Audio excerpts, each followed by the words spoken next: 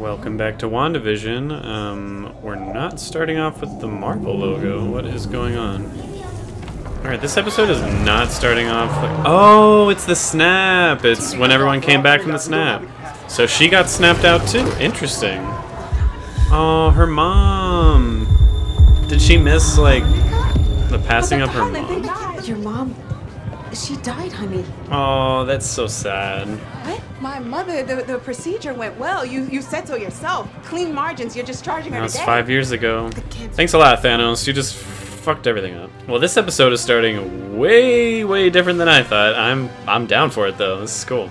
All right, so I'm guessing this is like the Monica episode. We're just getting everything going on with her and Sword. Captain Monica Rambo. Director Tyler Hayward. Captain. director. So wait, does that mean Sword's been around since before the snap? Can't say I'm surprised, Captain. Okay, I- I'm How are the numbers surprised. for the Mom built this place from the ground up. You grew up here. You Wait, should have been here to help name the replacement. Maria Rambo obvious was the one who like was built up choice. Sword. I wasn't gonna say it. I mean, it makes sense after, you know, Carol and everything. Sh- The F. She believed you'd come back. Aww. So, Westview is in New Jersey. Hmm. James E. Wu, FBI. What's up, Agent Wu? Who's the them missing seen him person? no such place. That's what I keep telling your G-man here, but he won't listen. I see. Nobody's supposed to go in. And that cop car just straight up disappeared. Hmm. Could that be the helicopter that Wanda you? finds? I'm still very confusion. Rambo. So it doesn't seem like the Force is keeping anybody out. Hey, Darcy, what's up? I just rewatched Thor 2. Still not the greatest field? movie, but she We're was funny. to talk to each I'm a chemical engineer. No one cares. so those were the noises we heard in the first or the second episode. Really looking forward to the commemorative T-shirt. Colossal amount of CMBR, Which is cosmic microwave background radiation. thank you. There are longer wavelengths superimposed over the noise here. The TV episodes that we've been watching. But why? Still not really answering us as to will take you straight into how this was created. Try to find anything you can. Oh, is this the beekeeper? Someone must really miss you back at Quantico. No, sir. Softball season's over, sir. He's dead, right? Not blipped. Dead. Yep. plan. Twice. Twice dead. What am I looking at? So you're saying the universe created a sitcom starring two Avengers? Get me a I'm transport. still back to thinking Mephisto, now. but Are we recording this? Never stop. maybe just I need one. immediate analysis. Aw. So this really was her. Um, in that first episode, people were right about First that. and foremost, Let's keep going. Yes, please. Give me some answers to other people. Why is everything always like that hexagon Mr. shape? Mrs. Hart. Okay, thank you for Played asking by as Todd well. and Sharon Davis. Can we get Agatha? I mean Agnes? We know whatever her name is.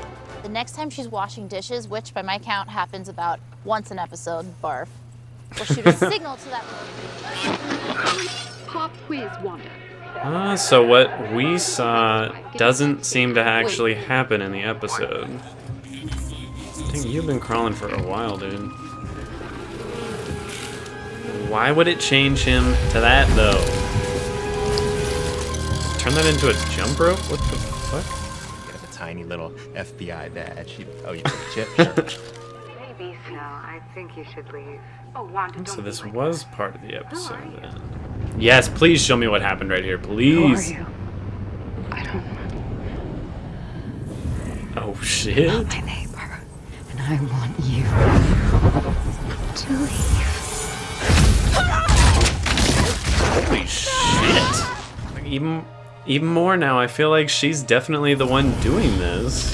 Like, on purpose, she has created this universe. Whoa, what the fuck? What? This is our home. Okay, she's totally the one in charge of what's happening here. I have everything under control. Mm, Vision definitely knows that something's wrong, though. Why do I get the feeling this is the end of the episode? Ugh, why would you do that to me? It's just just getting better and better. I'm so invested.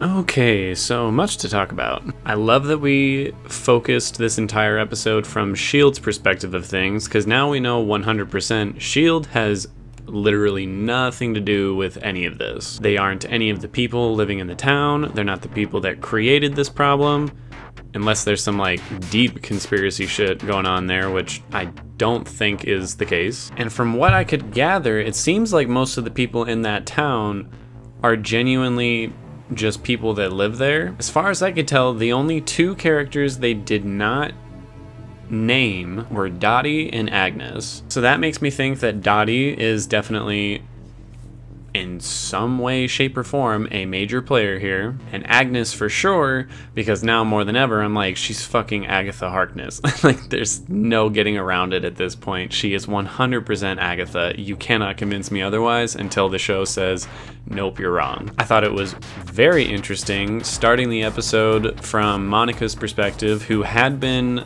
uh, dusted by the snap. It started with her reforming and coming back, which was very cool, seeing how like a hospital deals with that scenario where just all of a sudden it's flooded with all these people who have been gone for five years. And I just love the continuity of the MCU, how they're like, oh no, I mean, the snap happened, and it's not just gonna be written off as, you know, yep, that happened. It seems like the ramifications of that are felt with so many characters and with so many projects like, for all I know, this could be the last time they ever reference it, but I kind of highly doubt that. And of course, they confirmed that Geraldine is Monica, which I would say most Marvel fans already knew because, you know, the casting news was announced a long time ago. I specifically called her Geraldine and played it safe when it came to her, just in case there's anyone watching who wasn't aware of that. But now we can all talk about it freely.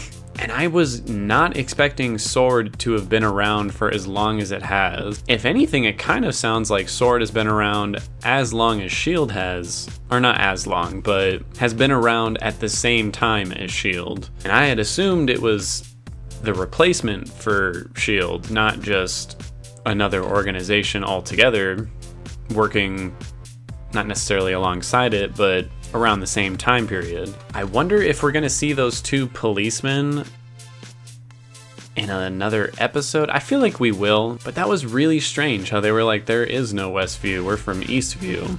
And I don't quite understand why. Like, were they just trying to throw the FBI off, just trying to play dumb?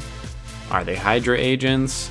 And that universe did not seem like it put up any kind of fight to keep out the the beekeeper guy or Monica. It just kind of pulled them right in. But the residents of that town have mentioned a couple times or alluded to the fact that they cannot leave. And we never really saw what happened to the beekeeper guy. Like when she rewound the episode, does that mean he just also rewound back out of there? Or what the fuck happened with that? And it's almost weird how this episode had comedy in it, but more the typical MCU style comedy with no laugh track. I didn't realize how accustomed I had become to hearing the laugh track over everything, so it was actually kind of weird when someone would make a joke and you didn't hear it. And thank the Lord they showed the full scene of what happened with Wanda and Monica, which I will reiterate again, that to me proves Wanda knows exactly what's going on here. She's just playing dumb to make sure that Vision and the others also fall in line. And she knew full well that Monica was not meant to be here with them. And she did it in such a vicious way, too. And there's that moment right after she did it where she looked kind of appalled at the fact that she did that, which does leads some credence to the theory that maybe Mephisto is really behind this, or Agnes, or someone is kind of controlling her, or at the very least egging on those antagonistic thoughts in her head. Not really sure. But even then, I don't know. I could definitely see Wanda just being a bit surprised at her own animosity in that situation. And that was very oddly disturbing when Wanda looked back at Vision and it was the version of Vision that was dead with his Infinity Stone like ripped out, which makes me think that's what she's actually seeing. Like she's basically reanimated this dead version of his body and then gave the actually rather creepy line of her being like, I have everything under control. Just let me take care of this.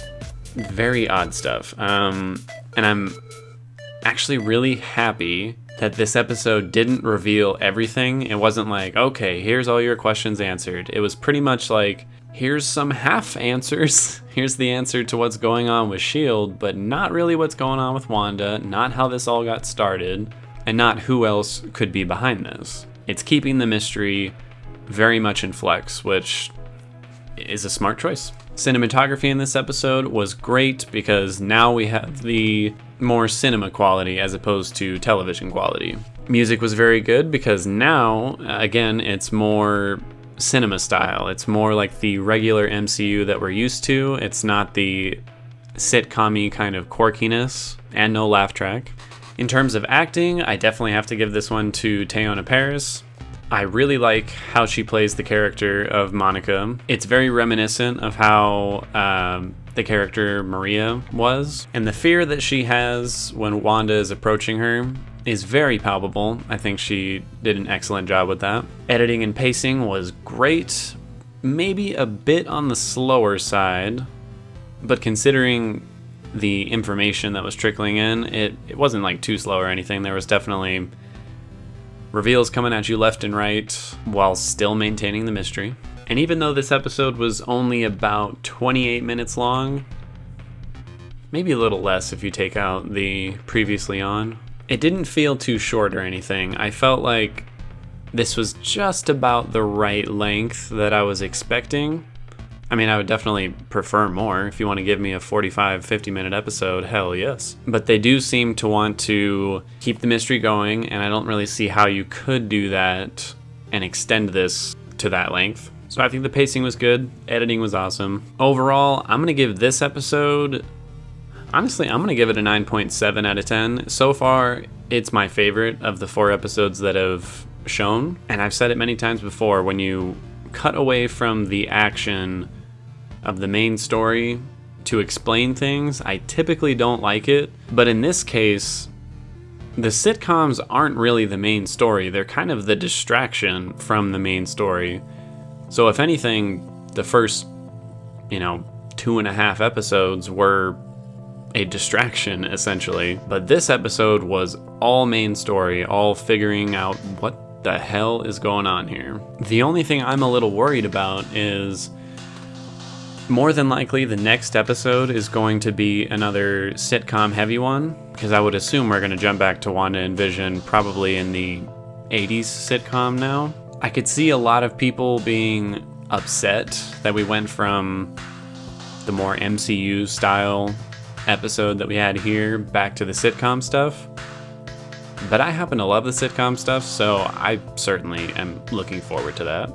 And I think with the reveals that we've had in this episode, the amount of weird things happening in that House of M universe is going to continue to escalate to a point where Wanda just can no longer keep up the charade.